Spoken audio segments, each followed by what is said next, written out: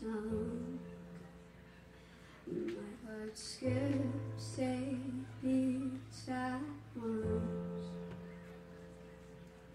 If we were meant to be, we would have been by now. See what you want to see, but all I see is him.